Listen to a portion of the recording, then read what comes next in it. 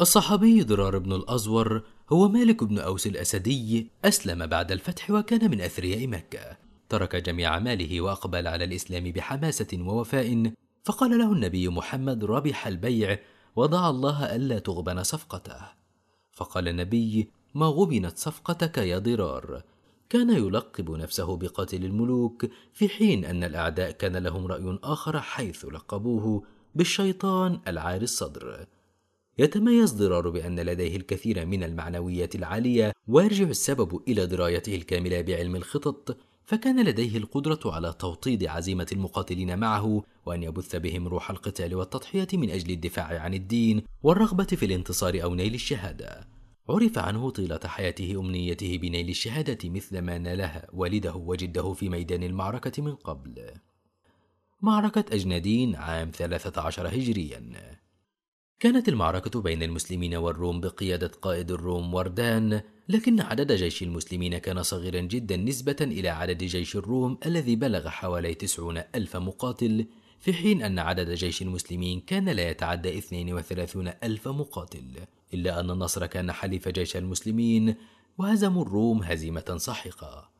كان من أبرز أسباب انتصار جيش المسلمين انضمام العديد من الفرسان إلى جيش المسلمين من أبرزهم ضرار بن الأزور الذي كان لديه قدر من الثقة تجعله ينطلق في أرض المعركة واثقا في الانتصار مهما كانت الظروف. بالإضافة إلى العديد من الفرسان الذين انضموا إلى جيش المسلمين في تلك المعركة مثل معاذ بن جبل وسعيد بن عمر وجعفر بن عقيل. لم يكتفي ضرر بن الأزور بالانتصار على جيش الروم إنما سعى جاهدا حتى استطاع الوصول إلى قائد الروم وردان ودارت مبارزة قوية بينهما. قام فيها ضرر بن الأزور بضرب وردان ضربة قاتلة بالسيف استطاع أن يفصل بها رأسه من العنق عن جسده. معركة مرج دهشور. عندما انتصر ضرار بن الأزور في معركة أجنادين واستطاع أن يقتل قائدهم شكل ذلك حافزا قويا مكنه من الانطلاق إلى خوض معارك أخرى بكل ثقة في الانتصار. بالفعل اشترك مع القائد خالد بن الوليد في معركة مرج دهشور وأتيحت له الفرصة مرة أخرى لأن يواجه قائد الروم بولس الذي كان يتمنى أن يثأر لقائد الروم وردان.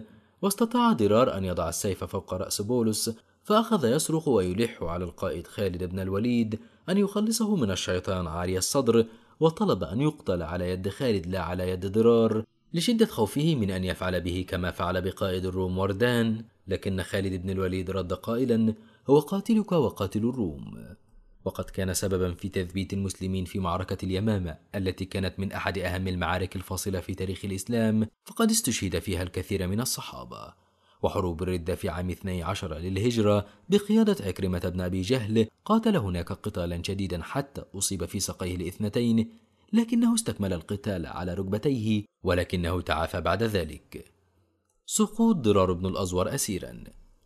في معركة اليرموك كان ضرار أول من بايع عكرمة بن أبي جهل وقد ذهب ضرار مع كتيبة من المسلمين لمعرفة أخبار الروم فقاتل الروم ويقال قتل منهم أربعمائة ولكنه وقع أسيرا.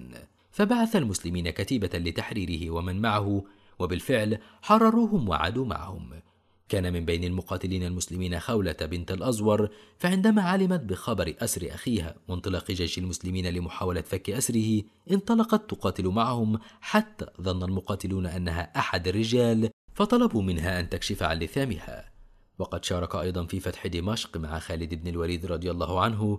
ثم توفي درر بن الأزور في منطقة غور الأردن ويرجح أنه مات في طاعون عمواس ودفن هناك فسميت المدينة باسمه.